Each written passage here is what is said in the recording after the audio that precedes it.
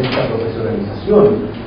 Yo creo que esto va a pareja con un cambio en la composición del personal del Estado.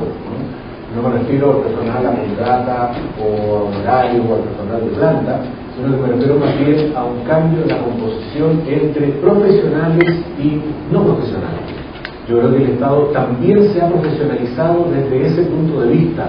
Hay proporcionalmente más profesionales que los que había en el pasado. Eh, este proceso de profesionalización yo creo que ha ido, no es que crea, estoy absolutamente convencido, que ha ido acompañado eh, de eh, un proceso de incorporación de conocimiento a la gestión del Estado probablemente sin parangón en la historia del Estado chileno, del Estado moderno.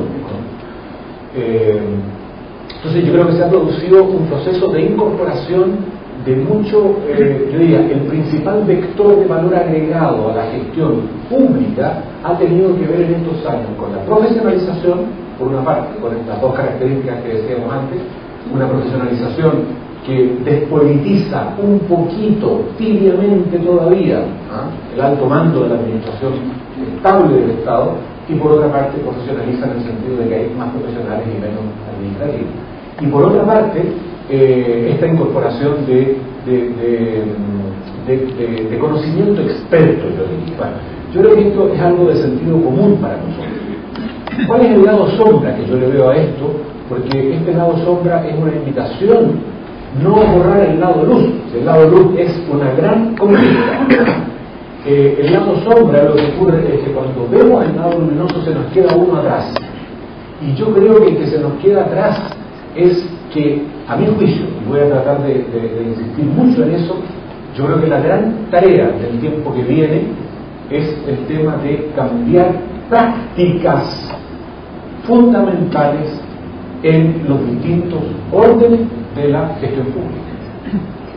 Y yo creo que si no identificamos, no mejoramos y por tanto no creamos los incrementos de competencias necesarios para que esas prácticas sean de los nuevos niveles necesarios, estoy convencido de que la curva de incremento de valor eh, por vía de incorporación de conocimiento experto a la administración pública es una curva recientemente decreciente. Que lo postulado que funciona de manera rigurosa eh, son básicamente las restricciones.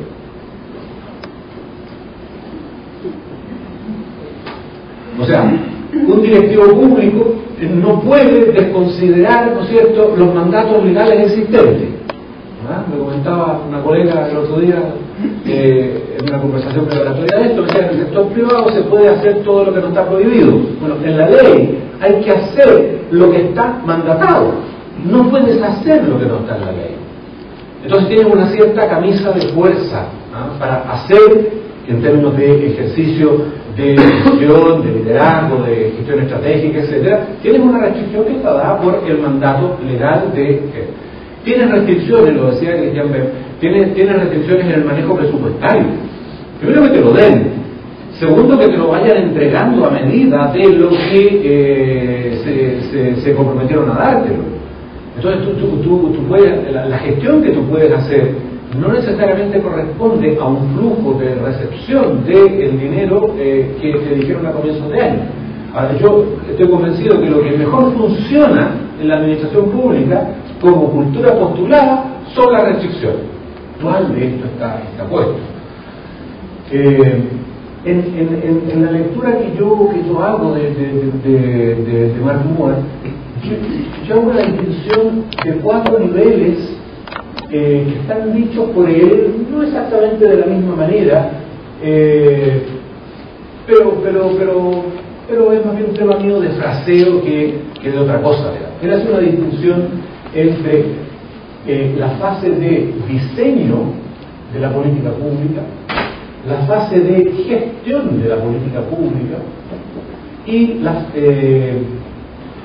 no sé si fase, pero él habla de la, del carácter imperativo del entorno favorecedor, facilitador.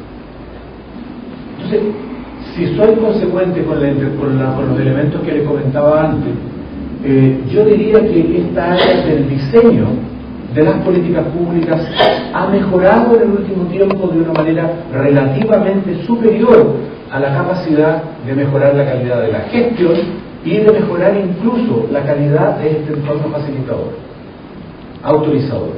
Yo creo que este entorno autorizador tiene mucho que ver con los temas más bien en el Chile del último tiempo de una estabilidad del sistema político, una relación peleada pero razonable entre gobierno y oposición, eh, pero el entorno facilitador no es solo un tema de buenas relaciones entre gobierno y oposición. Eh, en, este nivel yo creo que es muy importante, y aquí voy a insistir sobre un punto que ya viene acá, pero en los otros niveles es, central. Yo tengo la convicción también que una de las, si ustedes me apuran, me apuran al extremo, yo diría, mira, esta es la habilidad central que un directivo público tiene que tener hoy día. Es la capacidad de bajar los costos de transacción. En todo. Este caso, los costos de transacción en la formación y toma de las decisiones públicas. Pero para que haya negocios, para que lo que aquí diseñamos se haga, desde el punto de vista de lo diseñado requerimos una altísima capacidad de leer el entorno. Y eso el perfil exigido por la alta dirección pública lo dice de una manera que a mí me parece crucial. O sea, el tema de la relación con el entorno y la articulación de redes tiene que ver con este tema de los costos de transacción que a mí me parece clave.